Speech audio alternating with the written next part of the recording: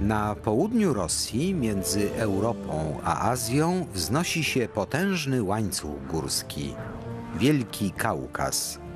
Wpływ tych gór sięga daleko, aż po niziny.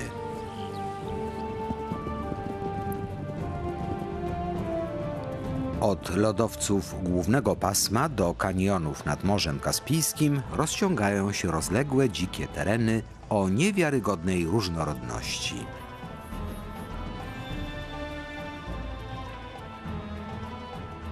Surowe, owiane legendami i do dziś w dużej mierze niezbadane. Wielki Kaukaz.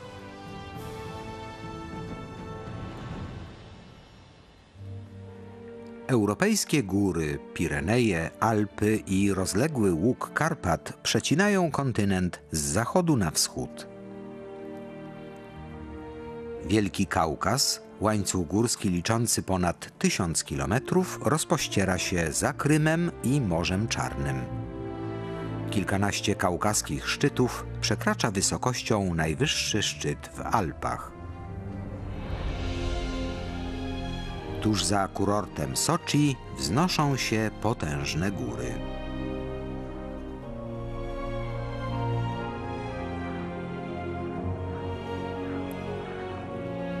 Z powodu bliskości Morza Czarnego zachodni Kaukaz należy do najbardziej śnieżnych regionów w Europie.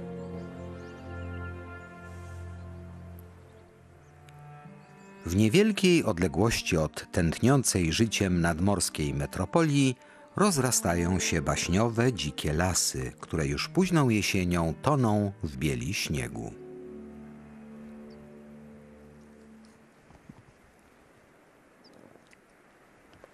Są one ostoją ostatnich żubrów kaukaskich, którym nie przeszkadza lodowate zimno,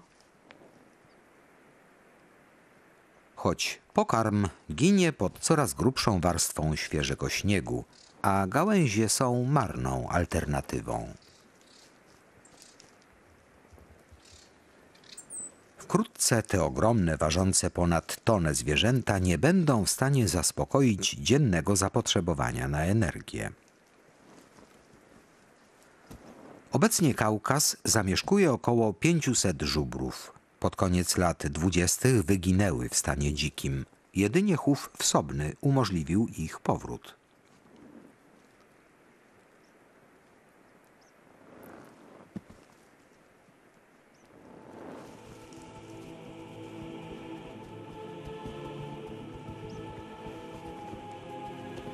Kierując się głodem i instynktem, stado rozpoczyna wędrówkę.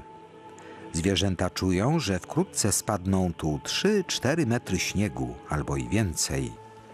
To o wiele za dużo, nawet dla największego europejskiego ssaka. Byk, przywódca stada, daje sygnał i zwierzęta udają się na długą, uciążliwą wędrówkę.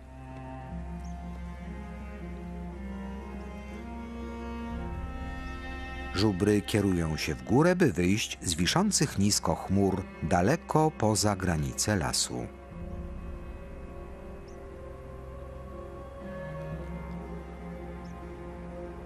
Tu na górze śnieg pada rzadziej, ale jest zimniej i nie ma osłony przed wiatrem.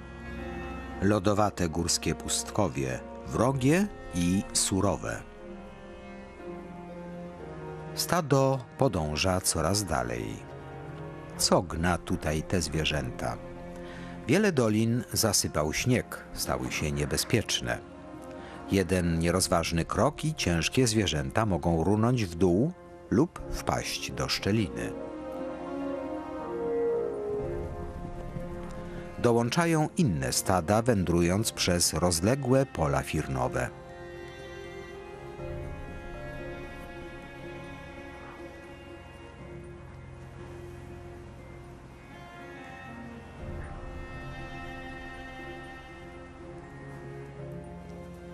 Żubry dotarły do terytorium Kozic.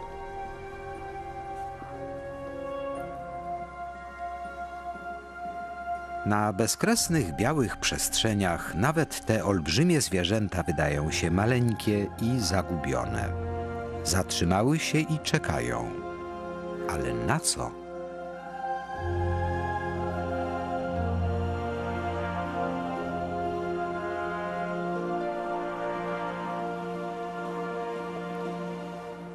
Odpowiedź przynoszą południowe wiatry.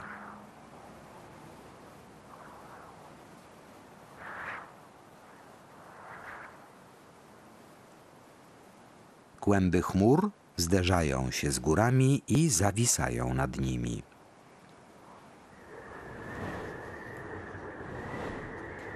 Strome zbocza nie stanowią przeszkody dla wiatru. Ciągu kilku minut nad płaskowyżem zaczyna szaleć wichura, przyspieszana lodowatymi prądami zstępującymi.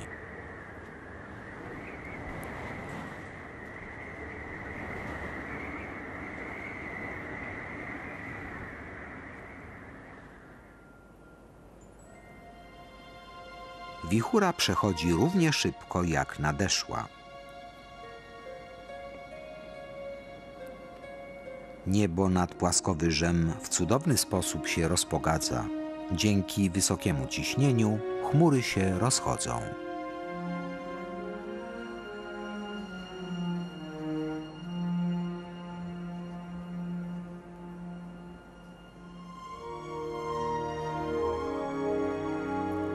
Zimowe słońce może teraz ogrzać wyłaniający się spod śniegu płaskowyż. Trawy dobrze zakonserwowane pod warstwą śniegu wciąż są pożywne. Na moment w środku kaukaskiej zimy zapanowało lato.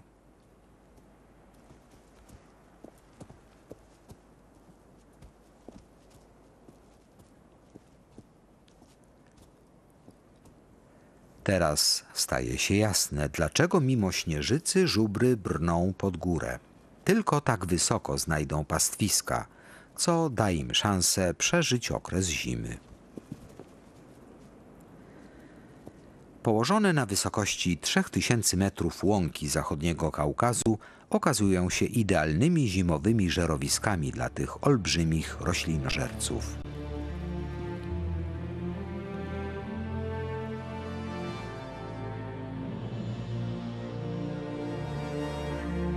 Diabelskie wrota tworzą widowiskową scenerię.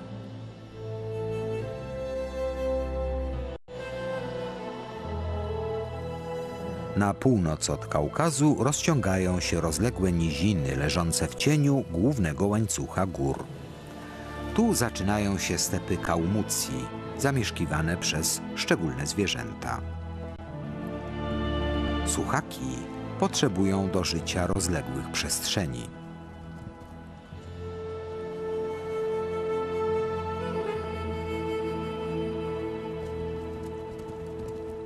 Stale są w ruchu, sprawiają wrażenie, jakby wciąż przed czymś uciekały.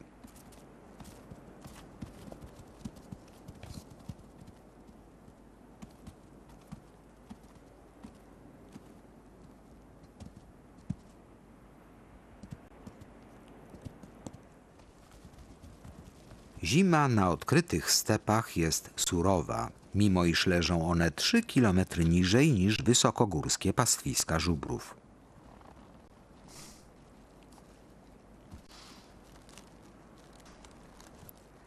Osobliwy nos suchaka, zwany trąbką, długo stanowił zagadkę dla naukowców. Dziś wiadomo, że pomaga filtrować powietrze z pyłu i zapewnia rodzaj klimatyzacji. By chronić płuca tych długodystansowców, suche, lodowate powietrze jest w nosie nawilżane i ogrzewane.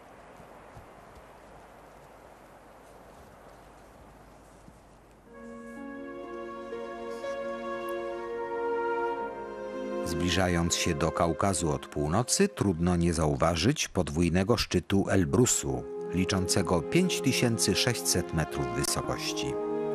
Nieco z boku głównej grani najwyższego szczytu Kaukazu, nad pogórzem, majestatycznie króluje uśpiony wulkan, o 800 metrów wyższy od Mont Blanc w Alpach.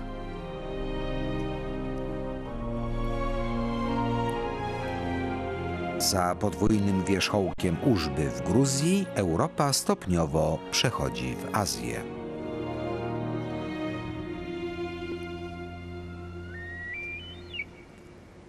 Trudno uwierzyć, że na tych skałach rozwija się życie. Pod koniec kwietnia w górach rozlegają się donośne dźwięki.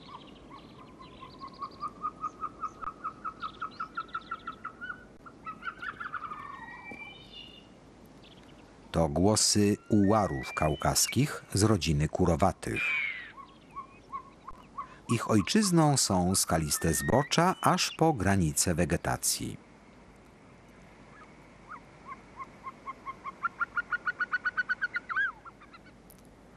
Te płochliwe ptaki gniazdują na ziemi, pod skalnymi nawisami. Koziorożce są zaniepokojone. Wiosna to czas lawin.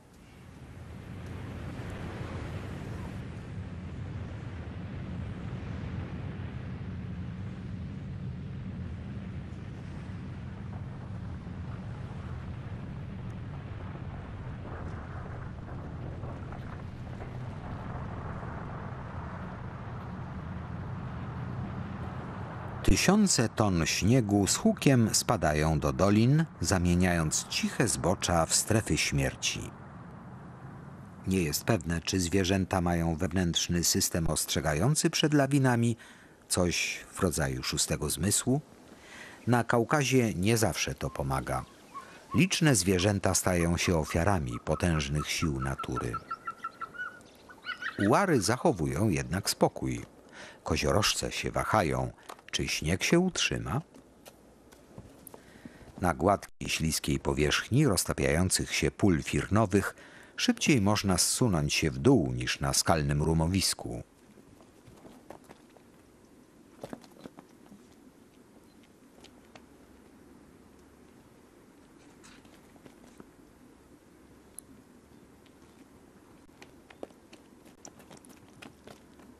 Podgatunek tutejszego koziorożca zwany jest także turem kaukaskim.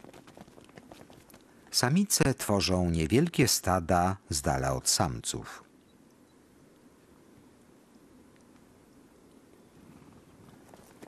Wiosną niemal wszystkie samice wydają na świat młode, dlatego są ostrożniejsze niż zwykle. Na tych wysokościach z reguły nie spotyka się niedźwiedzi, wilków czy rysi lecz obecność koźląt skłania mięsożerców, by wspiąć się wyżej. Koźlęta na łeb na szyję zbiegają po śnieżnych zboczach. To dobre ćwiczenie na wypadek poważnego zagrożenia w trudnym terenie.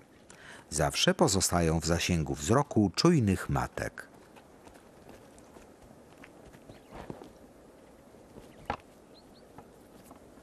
Radosne igraszki mogą się szybko zakończyć.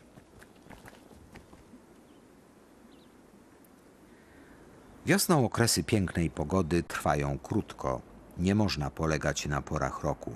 W ciągu doby może się zrobić jesiennie, za chwilę gorąco jak w lecie albo lodowato jak w zimie.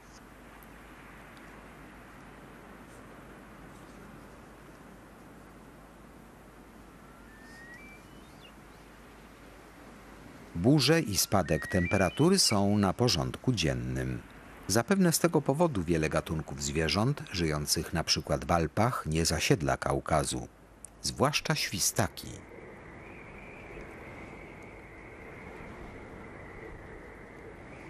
Mimo surowego klimatu spotyka się tu jednak niezwykłą różnorodność fauny.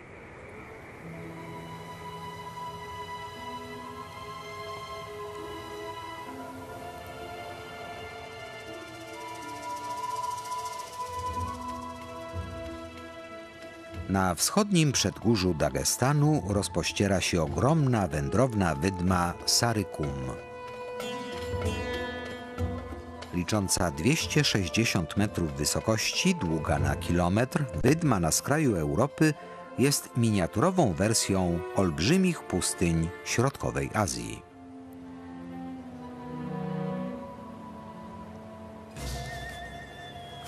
Krągłogłówka z rodziny agamowatych.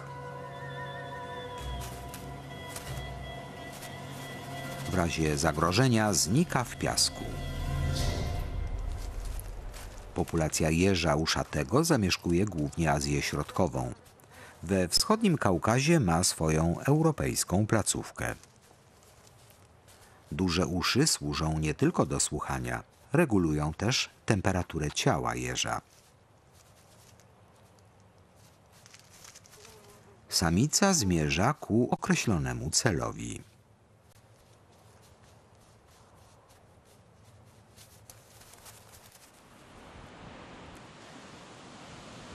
Wędrowne wydmy stale są w ruchu, przesuwane wiatrem. Gdyby nie wiatr, dawno by zarosły.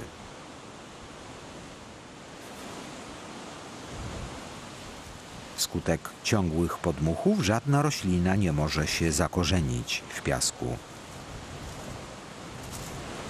Agamy zaadaptowały się w tym środowisku. Specjalne łuski chronią ich oczy i otwory nosowe.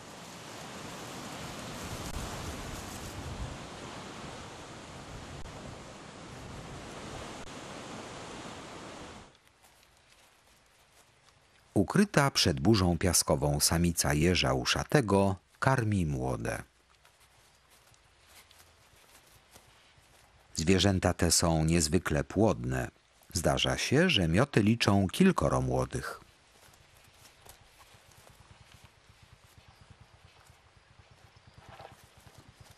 W tym wypadku samica ma tylko dwoje młodych, ale czasem też potrzebuje spokoju.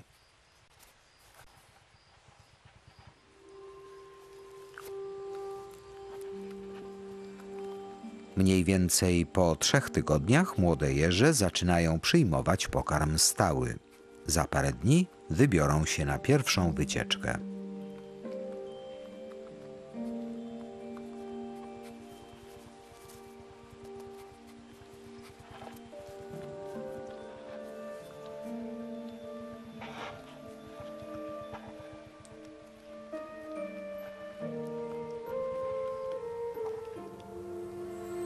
Ranek po burzy jest spokojny.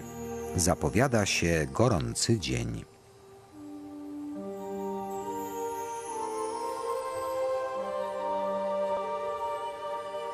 Jeż stara się nie wychodzić z kryjówki aż do zmierzchu. Tak jak ich europejski krewny unika pełnego słońca. Natomiast Agama krągłogłówka poluje w ciągu dnia. To nie był dobry wybór. Chrząszcza chroni gryząca wydzielina, która psuje napastnikowi apetyt.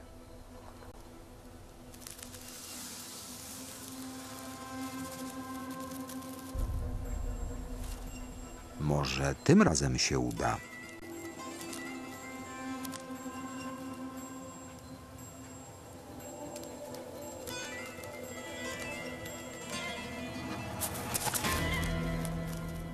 Taka porcja wystarczy na cały dzień.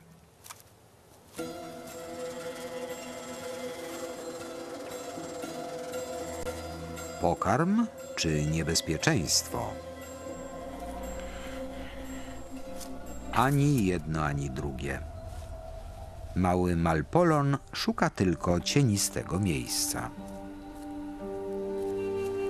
Na północy Kaukazu wiosna jest krótka i intensywna. Trzeba wykorzystać ten czas.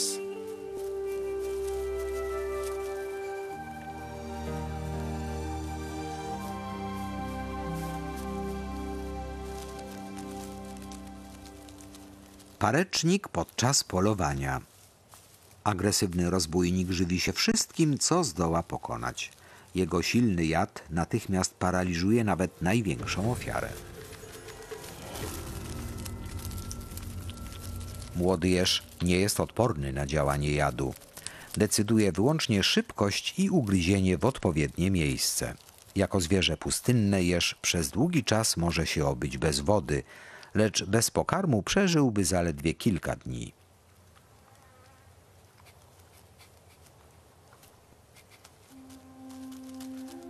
Wydma Sarykum to jedyna prawdziwa piaszczysta pustynia Rosji. Powstała dzięki temu, że doliny wschodniego przedgórza otaczają potężne skały z piaskowca.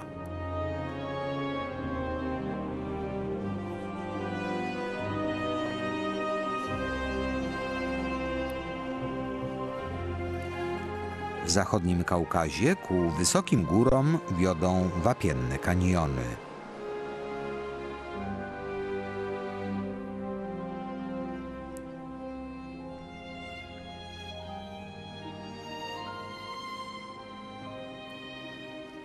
Na początku lipca rozkwita wiele górskich łąk. To marzenie dla botanika. Na Kaukazie występuje ponad 6,5 tysiąca gatunków roślin, z czego jedna czwarta to gatunki endemiczne.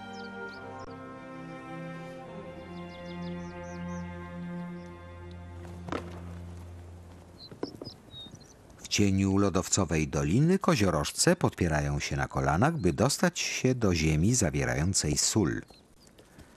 W wielu rejonach wysokogórskich sól to rzadkość, dlatego intensywnie ją zlizują.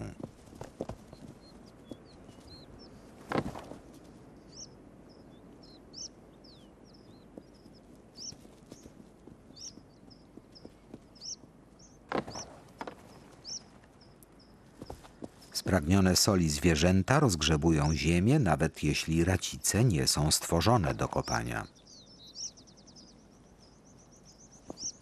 Czyżby sąsiad znalazł lepsze miejsce? Może dojść do potyczki.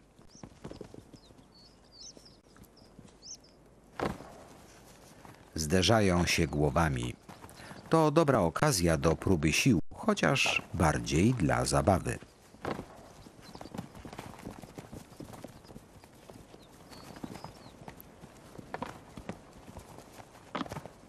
Wyżej także kozice kopią z zapałem. Nie szukają jednak soli, lecz ochłody. Słońce roztapia śnieg, a dla koźląt to znak, że można zjeżdżać w dół.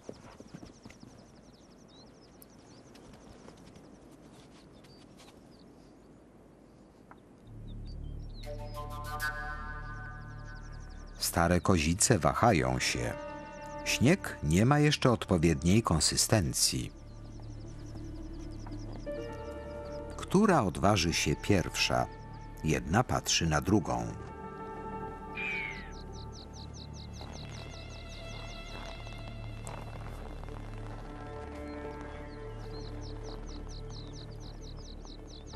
W końcu nabierają odwagi. Śnieg staje się parkietem do tańca.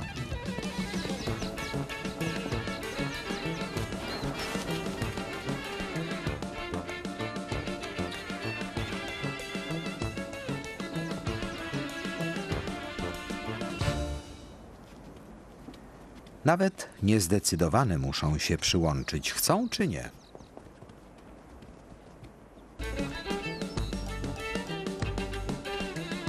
W końcu wszystkie w dzikich wykibasach brykają po śnieżnym zboczu.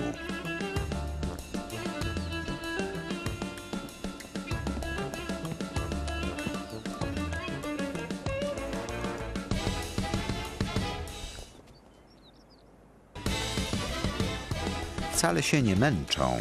Przystosowane do życia na dużych wysokościach, kozice mają wyjątkowo duże płuca.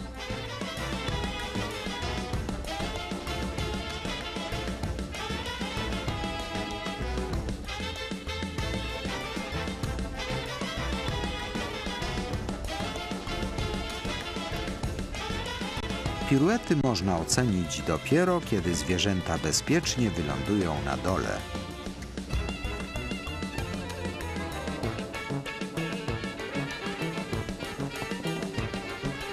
Ponowna próba.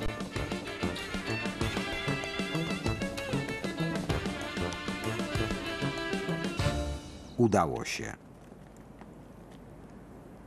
Zachowanie kozic nie ma głębszego znaczenia, wyraża czystą radość.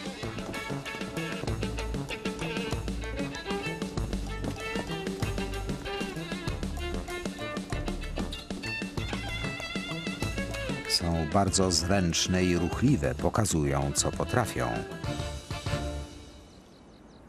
Koziorożcom pozostaje rola widzów.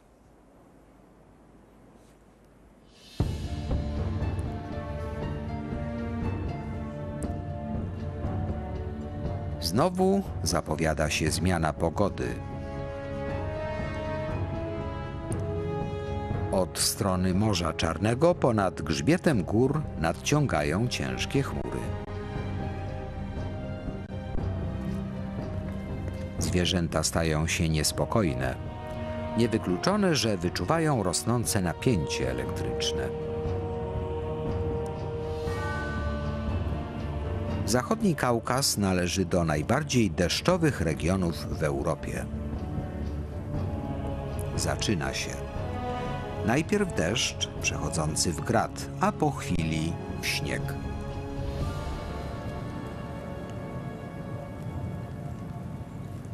W środku lata przypomina się zima, nawet jeśli na to nie wygląda.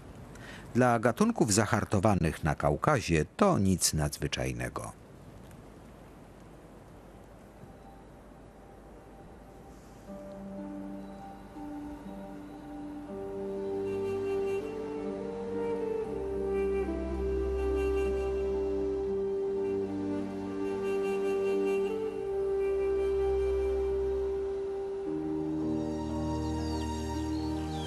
Poranne mgły na stepach Kałmucji.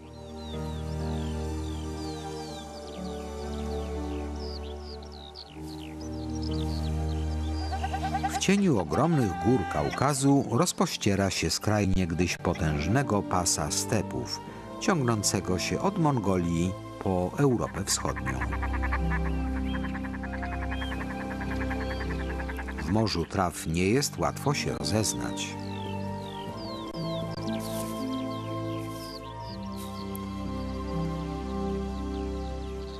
Dla słuchaków zaczyna się ważny okres.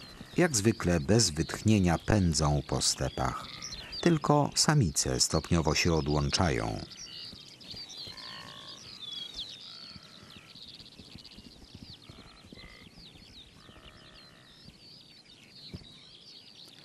Są ciężarne i nie poruszają się tak szybko jak zwykle.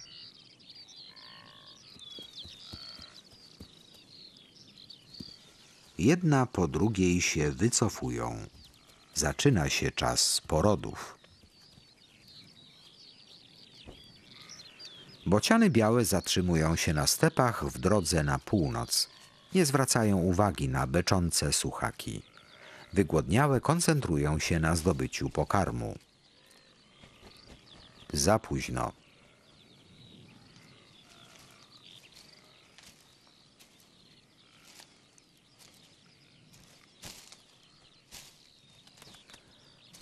Schwytana jaszczurka z winka nie ma szans, a może jednak? Bocian instynktownie przytrzymuje to, co jeszcze dynda. W dziobie został ogon jaszczurki. Trzeba działać szybko. Przystawka czy danie główne?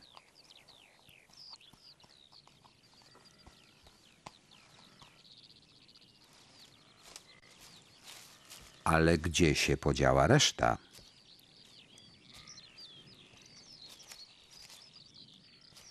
Już dawno umknęła. Życie toczy się dalej albo zaczyna się od początku.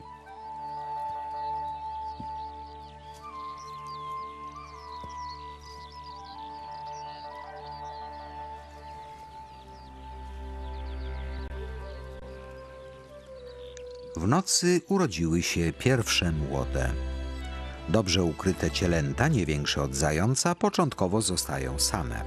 Matki przychodzą tylko rano i wieczorem, żeby je nakarmić.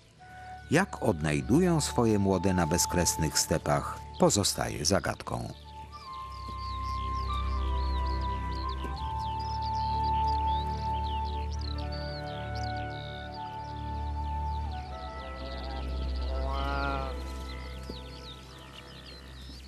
Nie wszystkie maluchy twardo stąpają po ziemi. To młode wydaje się ranne i opuszczone. Zbliża się do każdej samicy, ale te akceptują tylko własne potomstwo. Nawet jeśli je stracą, nie przyjmą obcego.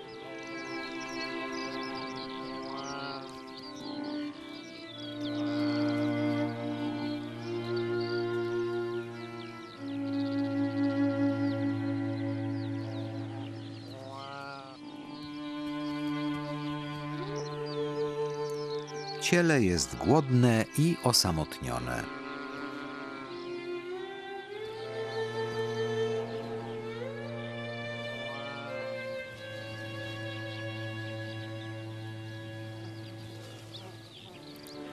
Nie pozostaje mu nic innego, jak gdzieś przycupnąć, bo zwłaszcza w okresie rozrodu na stepie wszędzie czyhają niebezpieczeństwa. Los młodego słuchaka wydaje się przypieczętowany. Gdy stado pójdzie dalej, zginie. W końcu jednak zbliża się matka.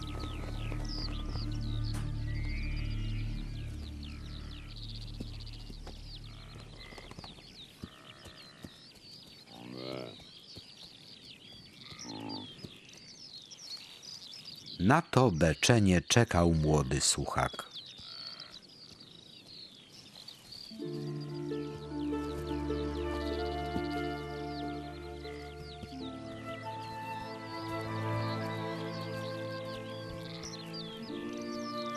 Teraz ma zaledwie jeden dzień, by nabrać sił i nauczyć się chodzić.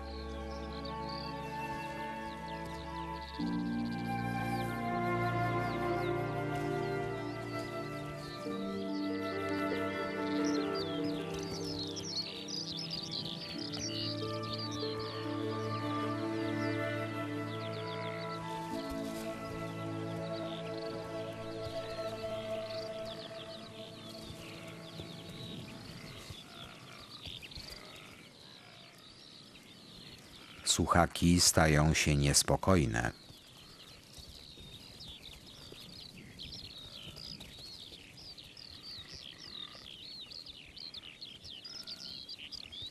Samce ponaglają.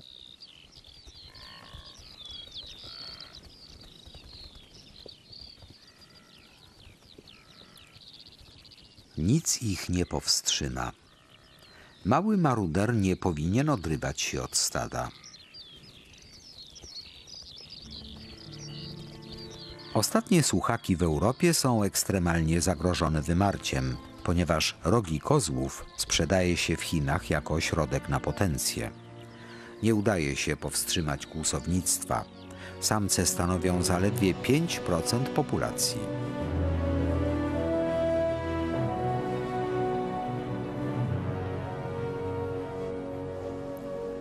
Już na początku sierpnia w zachodnim Kaukazie robi się jesiennie. Krajobraz przesłania gęsta poranna mgła. Po pewnym czasie słońce przebija się przez zasłonę z mgieł. Górskie żubry znów opuściły lasy i wkroczyły na otwarte przestrzenie.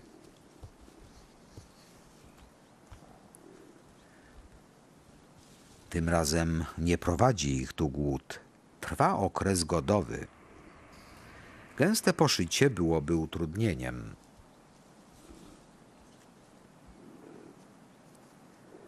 Byki potrzebują teraz dobrej widoczności i dużo miejsca.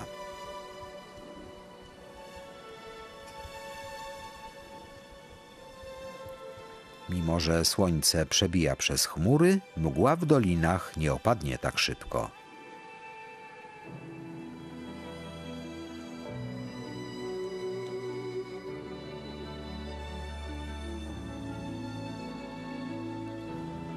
Końcu stado się ożywia.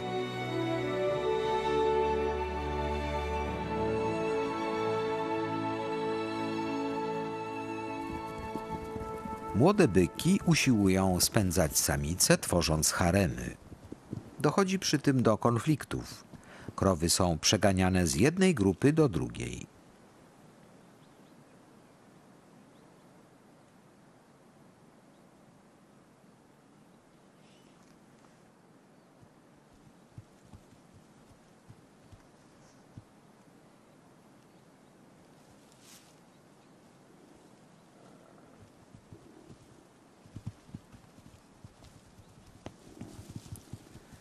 Stare byki są mniej ruchliwe.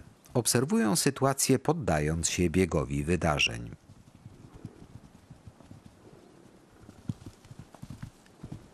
Gdy już wszystkie samice zostaną zgromadzone, samce wybierają te, które są gotowe do godów. Irytujące młode byki należy przepędzić. Niedźwiedzie brunatne nie zagrażają dorosłym żubrom.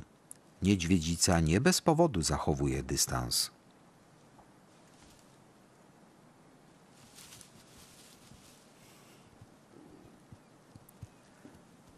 Nie powinna się zanadto zbliżać, gdyż byki są znacznie agresywniejsze niż zazwyczaj, a na otwartej przestrzeni nie ma mowy o ucieczce.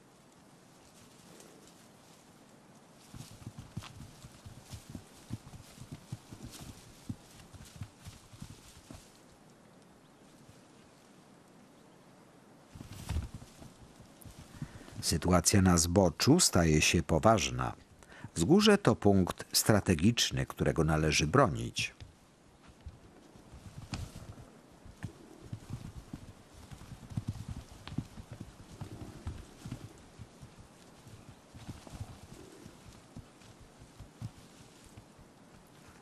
Gdy młode byki ze sobą walczą, stary żubr wybiera własną korzyść.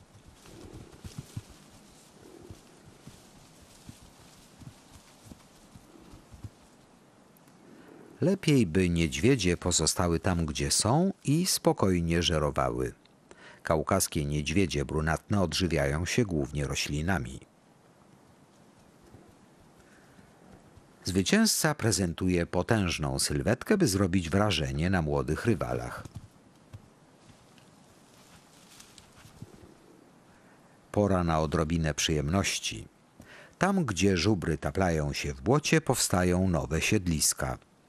Wystarczy odcisk kopyta i suche źdźbła trawy, a już pszczoły mogą zbudować gniazdo. Wewnątrz miniaturowych stogów siana królowa składa jaja. Robotnice zbierają nektar na pobliskich łąkach pełnych kwiatów.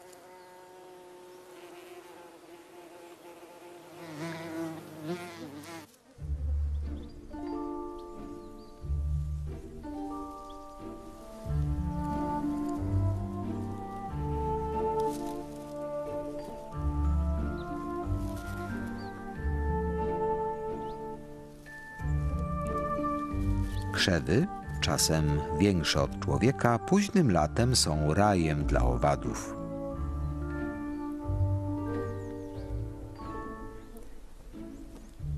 Te kwitnące ogrody przyciągają małe ptaki. Niektóre stosują zaskakujące strategie polowania.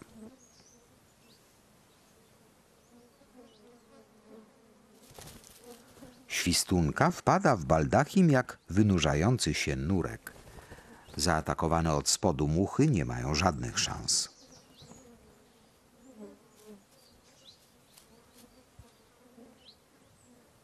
Inne ptaki nawet nie czekają, aż zdobycz gdzieś usiądzie.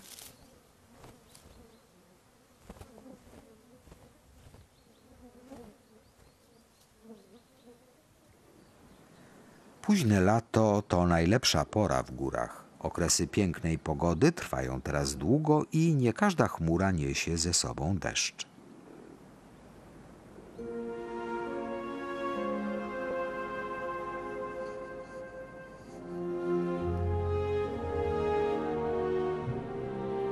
Jakby natura zbierała siły przed bezlitosną zimą.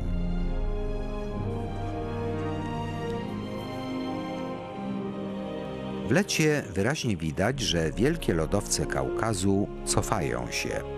Jednocześnie tworzą się nowe, mniejsze. Śnieg pokrywa ochronna warstwa pyłu i drobnych kamieni, spowalniająca jego topnienie.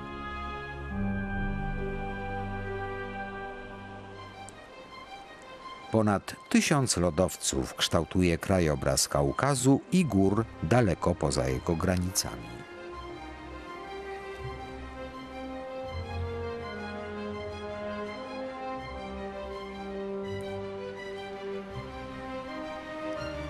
Woda ze stopniałych lodowców i ulewne deszcze wyżłobiły na nizinie nadkaspijskiej szerokie doliny – na półpustyniach powstały bujne nadbrzeżne łęgi topolowo-wierzbowe zwane tugajami.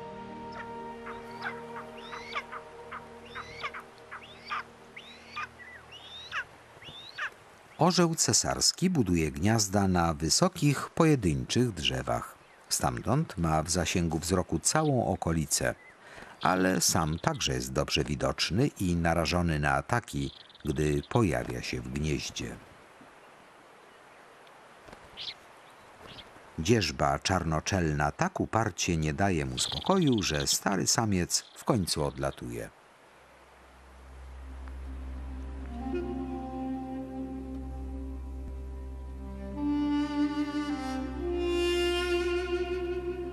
Przez tysiące lat erozja i powodzie utworzyły z miękkich piaskowców jedyny w swoim rodzaju krajobraz.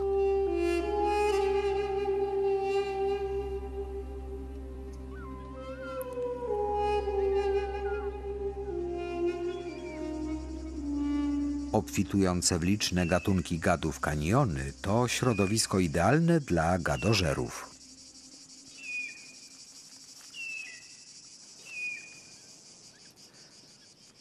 Samica upolowała jadowitą żmiję lewantyńską. Gadożery dokładnie odróżniają gady niegroźne od jadowitych. Jadowite węże pozbawiają głowy zanim zaniosą je do gniazd.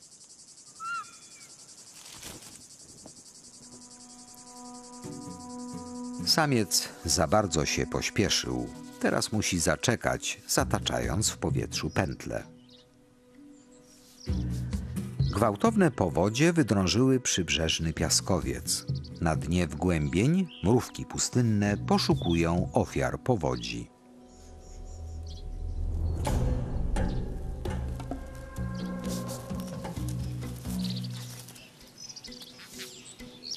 Lokusta jest ranna.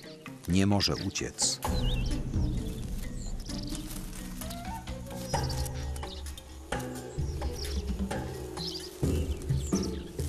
W ciągu kilku minut mrówki pokonują znacznie większego owada i niosą go w stronę gniazda.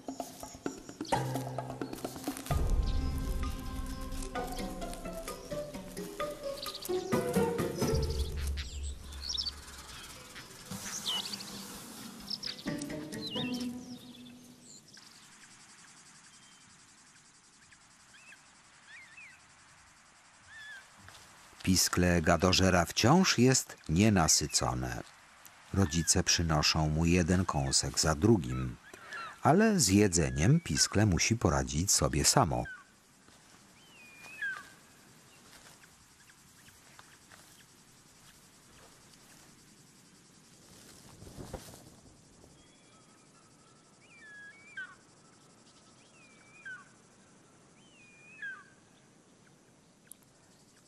Młode pójćki, które mieszkają poniżej gniazda gadożerów, także czekają na pokarm.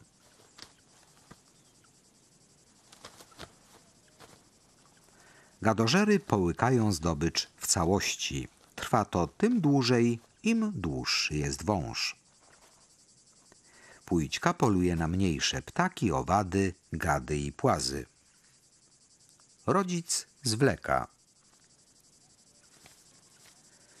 Piskle gadożera musi zrobić przerwę. Po raz ostatni pójćki przynoszą zdobycz młodym, które jutro zaczną się uczyć polować samodzielnie.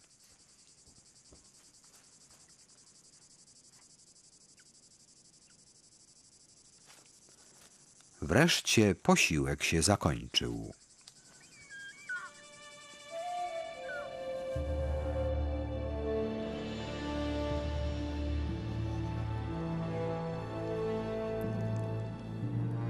Jesień w górach jest krótka i w każdej chwili może zamienić się w głęboką zimę.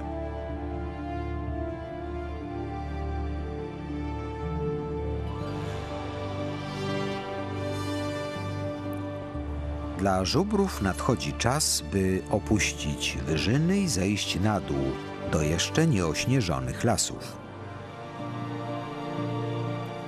Także tutaj powoli daje się zauważyć jesień.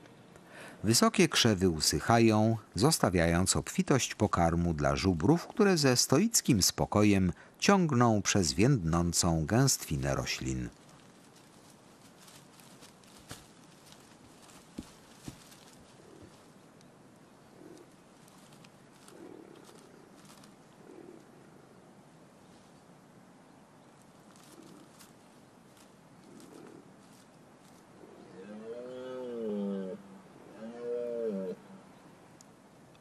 Ogromne baldachy barszczu kaukaskiego wydają się małe przy tych olbrzymich zwierzętach. Jelenie z dnia na dzień stają się coraz bardziej niespokojne, opuszczają leśne schronienie. Łanie chciałyby wrócić do doliny, ale byki kierują je wyżej.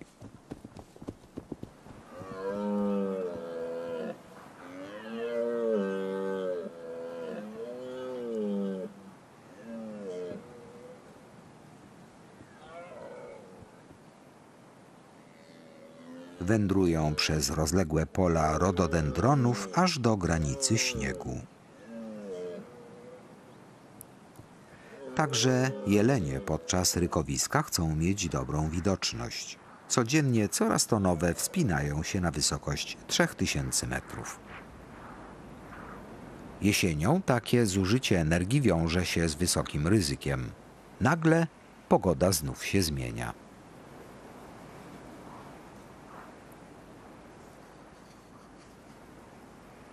Gęsty śnieg przykrywa wyżyny. W ciągu godziny nadeszła zima. Zaskoczyła kozice przy lizaniu soli, ale im to nie przeszkadza.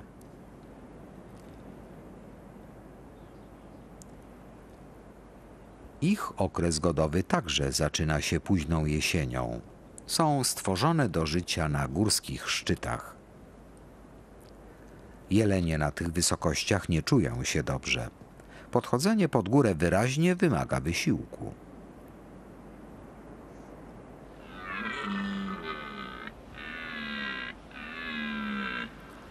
W rozrzedzonym powietrzu stary byk daje z siebie wszystko, ale do bezpośredniego pojedynku nie starcza mu sił.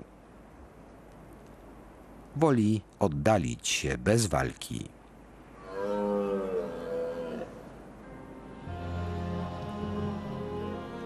Najwyższe góry Europy. Ostatnia ojczyzna żubrów kaukaskich.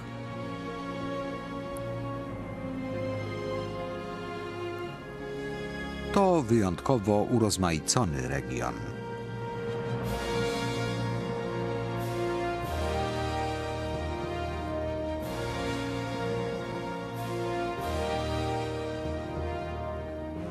Wpływ gór sięga daleko poza ich granice obejmuje obszar między Morzem Czarnym a Kaspijskim.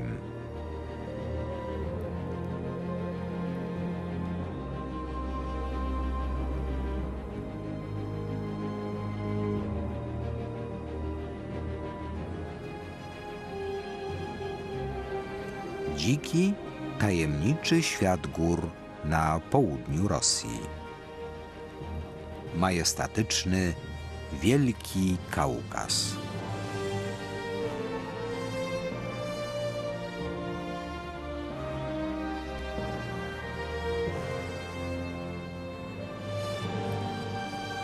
Opracowanie Telewizja Polska.